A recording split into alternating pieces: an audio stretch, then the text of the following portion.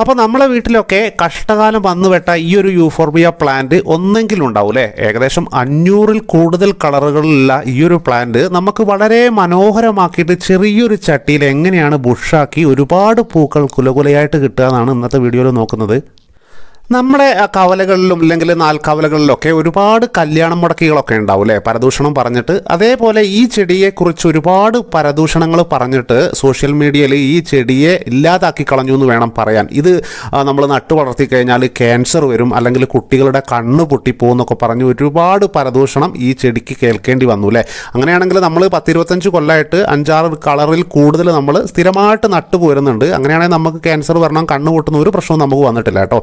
അപ്പോൾ നമുക്കൊരു ചെടി നഴ്സറിയിൽ നിന്ന് മേടിച്ചാൽ ഒരു രൂപ പോലും നഷ്ടപ്പെടാതെ ആ ചെടി നഷ്ടപ്പെടാതെ കൃത്യമായിട്ട് നമ്മൾ എങ്ങനെയാണ് വളർത്തേണ്ടത്? ഓരോ ചെടിയും കൂടുതൽ ഇഷ്ടപ്പെടുന്ന വളങ്ങൾ കൂടുതൽ പൂക്കൾ കിട്ടാൻ വേണ്ടി എങ്ങനെയൊക്കെയാണ് ചെയ്തു കൊടുക്കേണ്ടതെന്നൊക്കെ നമുക്ക് മനസ്സിലാക്കാൻ വേണ്ടി കൃത്യമായി ഓരോ ചെടിയും നമ്മൾ നഴ്സറിയിൽ നിന്ന് മേടിച്ച് കഴിഞ്ഞാൽ റിപ്പോർട്ട് ചെയ്യേണ്ടതും അതേപോലെ തന്നെ പ്രൂണിങ് ചെയ്യേണ്ടതും ഒക്കെ നമുക്ക് പഠിക്കാനായിട്ട് നമ്മുടെ സ്റ്റുഡിയോ ഒരുങ്ങിയിട്ടുണ്ട്. അപ്പോൾ ഏകദേശം പത്ത് ശതമാനം മാത്രം ചെടികളെ ഇവിടേക്ക് വെച്ചിട്ടുള്ളൂ.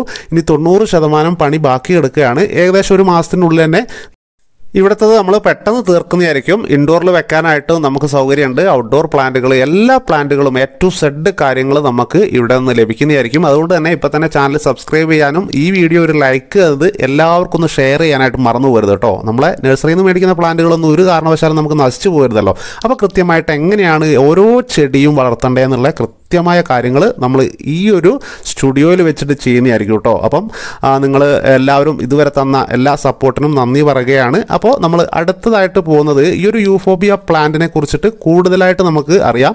ഇതിൽ കൂടുതൽ പൂക്കൾ ഉണ്ടാക്കാൻ വേണ്ടി എന്തൊക്കെയാണ് ചെയ്യേണ്ടതെന്ന്?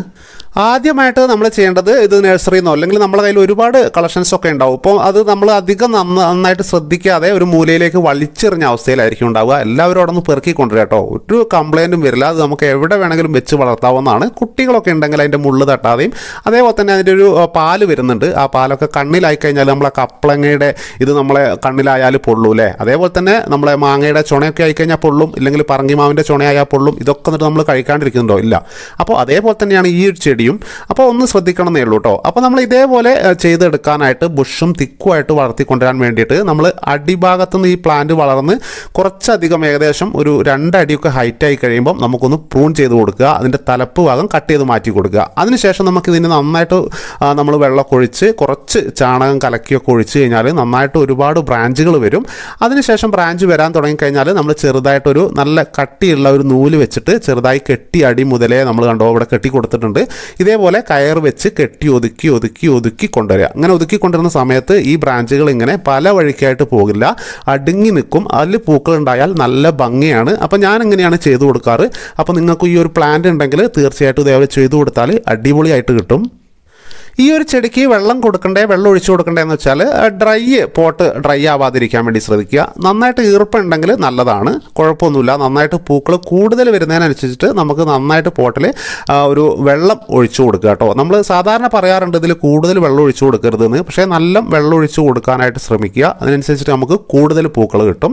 അത് വിചാരിച്ചിട്ട് ഒരുപാട് വെള്ളം പോട്ടിൽ കെട്ടി നിൽക്കാതിരിക്കാൻ വേണ്ടിയിട്ട് ശ്രദ്ധിക്കണം. അങ്ങനെയുള്ള ഒരു പോട്ടി മിക്സ് വേണം എടുക്കാൻ. ഇതേപോലുള്ള കമ്പുകൾ നമ്മൾ മുറിച്ചെടുക്കുക.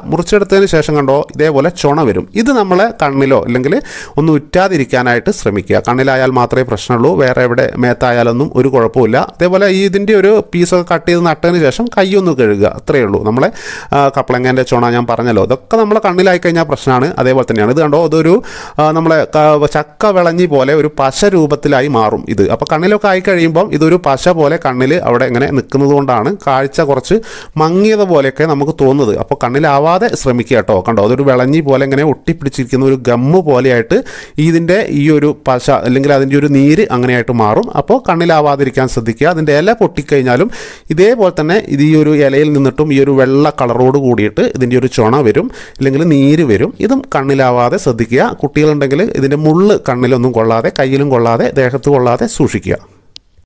ആ ഈ ഒരു യൂഫോബിയ പ്ലാന്റ് നമ്മൾ ഇതേപോലെ കുറച്ച് മണ്ണ് മതി കേട്ടോ നമുക്ക് നടാനായിട്ട് ഇതേപോലെ ചെറിയൊരു ഗ്രോ ബാഗിൽ അല്ലെങ്കിൽ ചെറിയ കവറിൽ നമുക്ക് നിറച്ച് ചെറിയ കമ്പുകൾ കുത്തി വേര് പിടിപ്പിക്കാവുന്നതാണ്. അപ്പോൾ വേര് പിടിപ്പിക്കുന്ന സമയത്ത് ഒരുപാട് വെള്ളം ഒഴിച്ചു കൊടുക്കേണ്ട കാര്യമില്ല. ഈ ഒരു പോട്ട് ഇല്ലെങ്കിൽ ഈ ഒരു ഗ്രോ ബാഗ് നന്നായിട്ട് മണ്ണ് ഡ്രൈ ആയതിനു ശേഷം മാത്രം രണ്ടാമത് നമ്മൾ വെള്ളം ഒഴിച്ചു കൊടുക്കുക. ആദ്യം നടുന്ന സമയത്തൊന്ന് നനച്ച് കഴിഞ്ഞാൽ പിന്നെ ടോപ്പ് സോയിൽ ഡ്രൈ ആയതിനു ശേഷം വെള്ളം ഒഴിച്ചു കൊടുക്കുക. കുറച്ചധികം കട്ടി കൂടിയ വേരുകളാണ് ഇനിയുള്ളത് അതുകൊണ്ട് തന്നെ കുറച്ച് വലിയ പോട്ടിൽ നമ്മൾ നടാമെങ്കിൽ അതിനനുസരിച്ചിട്ട് നമുക്ക് ഇതിന്റെ റിസൾട്ട് കൂടുതൽ കിട്ടും കൂടുതൽ ബ്രാഞ്ച് വരും കൂടുതൽ പൂക്കളും കിട്ടും. അപ്പോൾ ഞാൻ നമ്മുടെ സ്റ്റുഡിയോന്റെ ഇതിന് വേണ്ടിയിട്ട് ഒരുപാട് നമുക്ക് ഇങ്ങോട്ടേക്ക് പ്ലാന്റുകൾ വെക്കേണ്ടതായിട്ടുണ്ട്. അപ്പോൾ ഞാൻ സ്റ്റുഡിയോയുടെ ഒരു സൈഡ് ഭാഗത്തായിട്ട് ഈ ഒരു ചെടി ഇതാ ഇവിടെ നട്ടു വെച്ചിട്ടുണ്ട്.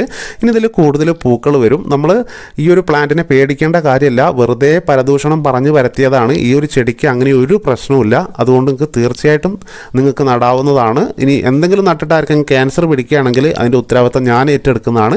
അതുകൊണ്ട് നിങ്ങൾക്ക് തീർച്ചയായിട്ടും ഈ ഒരു പ്ലാന്റ് നന്നായിട്ട് നട്ട് വളർത്താവുന്നതാണ്. കൂടുതൽ ഈ പ്ലാന്റിനെ കുറിച്ച് ഇതിനെക്കുറിച്ച് ഈ ഒരു ക്യാൻസർ പരത്തുന്നതിനെ കുറിച്ചൊക്കെ അറിയണമെങ്കിൽ ലിങ്ക് ഞാൻ ഡിസ്ക്രിപ്ഷനിൽ കൊടുക്കാം. ഒന്ന് പോയിട്ട് ആ വീഡിയോ കൂടിയും കണ്ടു നോക്കുക കേട്ടോ. അപ്പോൾ നിങ്ങൾക്ക് എല്ലാ തെറ്റിദ്ധാരണകളും മാറി കിട്ടുന്നതായിരിക്കും. എന്തായാലും ഇന്നത്തെ വീഡിയോ ഇവിടെ നിർത്തുകയാണ്. എന്തെങ്കിലും സംശയങ്ങളുണ്ടെങ്കിൽ കമന്റായിട്ട് ചോദിക്കാവുന്നതാണ്. അപ്പം നല്ലൊരു വീഡിയോ ആയിട്ട് കണ്ടുമുട്ടുന്നവരെ തൽക്കാലത്തേക്ക് ഇവിടെ ചോദിക്കുന്നു. Bye bye